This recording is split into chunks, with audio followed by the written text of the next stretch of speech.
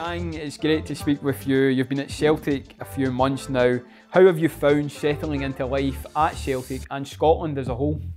어, 적응해 나가는 것은 어려움이 없는 것 같아요. 뭐 어려움 딱히 고르자고 하면 어, 언어적인 문제에서 제가 영어를 잘 못하다 보니까 뭐 조금 소통하는 데서만 문제가 생긴 것 같고 뭐 다른 문제는 없는 것 같아요. What are the particular differences that you have found from transitioning from football in the K League to that of the SPFL?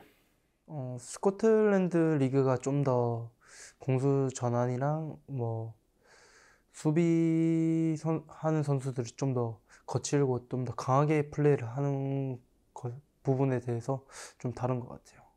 You've made your debut in the UEFA Champions League and even started the game against Lazio. The result didn't go our way, but how was that experience for you?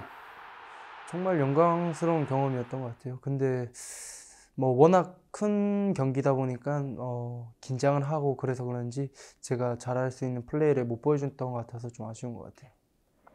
You've yet to score your first goal, but you have made a, a positive impact. How are you working towards that moment when you get your first goal for Celtic?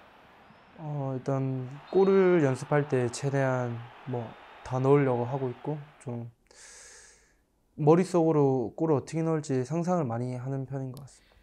Have you found yourself being noticed by supporters? And if you have, has that been a strange feeling?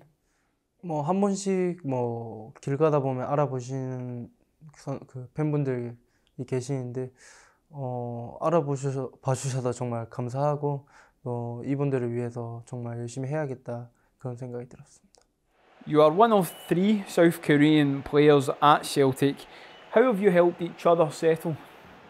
뭐 도와주기보다는 뭐 현기 형이 앞에서 정말 많이 좋은 뭐 좋은 관계를 많이 맺어왔기 때문에 뭐 저는 그냥 형이 다가왔던 길을 그냥 거는 것 같아요. Just finally, what are your goals for the rest of the season in a Celtic jersey, Yang?